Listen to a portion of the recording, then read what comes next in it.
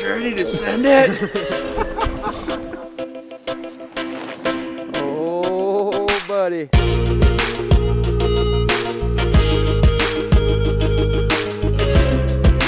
Everyone's gonna read the mountain a little different and see different lines to draw and my approach has always been to try to find like the most out there, most unorthodox way to ski the hill.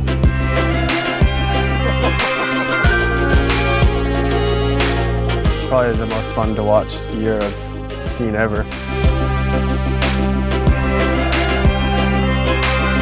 Fire in the hole, boys!